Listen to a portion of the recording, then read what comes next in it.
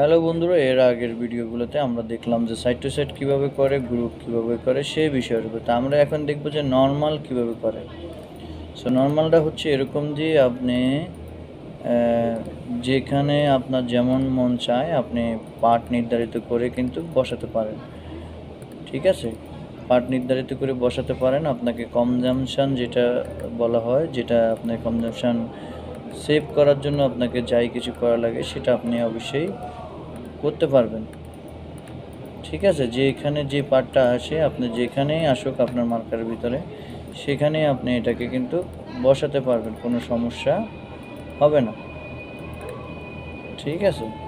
তো আপনারা এইভাবে আপনার কাজ করতে পারবেন, সমস্যা হবে না। যেমন আপনি দেখতে পাচ্ছেন যে এখানে এলোমেলোভাবে আছে, এলোমেলো দেওয়া হয়েছে।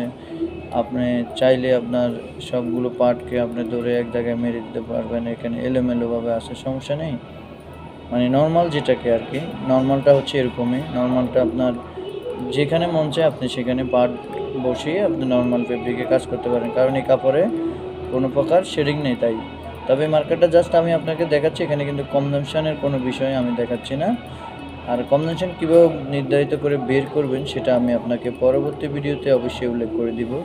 কীভাবে আপনি কনজামশন বের করবেন? কনজামশন বের করাটা কিন্তু একটা ইম্পর্টেন্ট বিষয় এবং রেশিও বের করাটাও কিন্তু একটা ইম্পর্টেন্ট বিষয়। আপনি কীভাবে রেশিওটা নির্ধারিত করবেন, কীভাবে রেশিও করবেন সেক্ষেত্রে আপনাকে অবশ্যই জানতে হবে। যদি না জানেন তাহলে আপনি কাটার পরে ভুল হবে।